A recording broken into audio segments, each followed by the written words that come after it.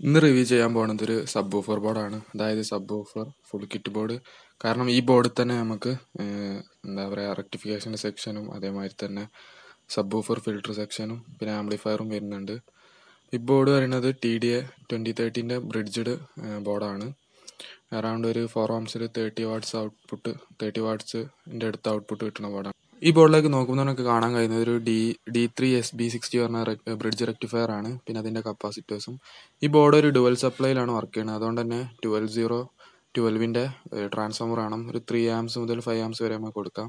പിന്നെ സൈഡിൽ നമുക്ക് കാണുന്നത് ഒരു ഫിൽട്ടർ ലോ പാസ് ഫിൽറ്ററിന്റെ സെക്ഷനാണ് അത് പറയുന്നത് നാൽപ്പത്തഞ്ച് അമ്പത്തെട്ട് ഡി പറഞ്ഞ ഐ സി വെച്ചിട്ട് വരുന്നതാണ്. അതിന്റെ അടുത്ത് തന്നെ ഇതിലേക്ക് കൊടുക്കുന്ന നമ്മളൊരു സ്റ്റീരിയോ ഇൻപുട്ടാണ് പിന്നെ ഈ ലോ പാസ് ഫിൽറ്ററിന്റെ ഒരു ഗെയിൻ കൊടുത്തിട്ടുണ്ട്. അത് നമുക്ക് കൺട്രോൾ ചെയ്യാൻ ഒരു പ്രീസെറ്റും വെച്ചിട്ടുണ്ട്. പിന്നെ വരുന്നത് പറഞ്ഞു കഴിഞ്ഞാൽ നമുക്ക് സൈഡിലൊരു വോളിയം കൺട്രോൾ കൺട്രോളിന്റെ ഓപ്ഷൻ കാണാം. അവിടെ നമുക്കൊരു ഫോർട്ടി സെവനോ ഹൺഡ്രഡ് കെ യൂസ് ചെയ്തിട്ട് നമുക്ക് വോളിയം കൺട്രോൾ ചെയ്യാം. അതിന്റെ അടിയിലെ കണക്ഷൻസ് എന്ന് പറയുമ്പോൾ ലോ പാസ് ഫിൽറ്ററിന് വരുന്ന ഒരു കണക്ഷനും പിന്നെ ആംപ്ലിഫയറിലേക്ക് പോകുന്ന ഒരു കണക്ഷനും പിന്നെ ഗ്രൗണ്ടും ചെയ്താൽ മതി.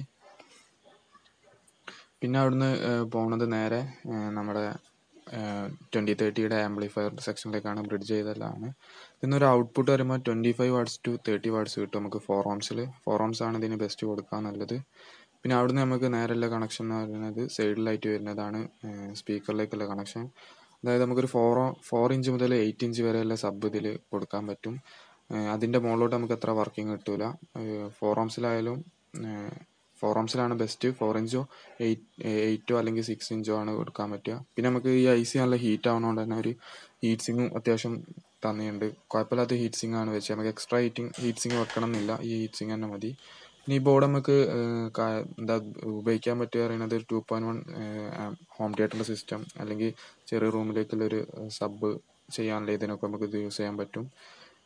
പിന്നെ ഇത് ഈ ബോർഡ് വരുന്നത് അത്യാവശ്യം കുഴപ്പമില്ലാത്തൊരു പി സി ബി തന്നെയാണ് ഉണ്ടാക്കിയത്. ഈ ബോർഡ് വെച്ചിട്ട് ഒരു ആക്റ്റീവ് സബ് ഉണ്ടാക്കുന്ന വീഡിയോ നമ്മുടെ ചാനൽ വരുന്നതാണ്. അപ്പോൾ നിങ്ങൾ എന്റെ ചാനൽ സബ്സ്ക്രൈബ് ചെയ്യുക.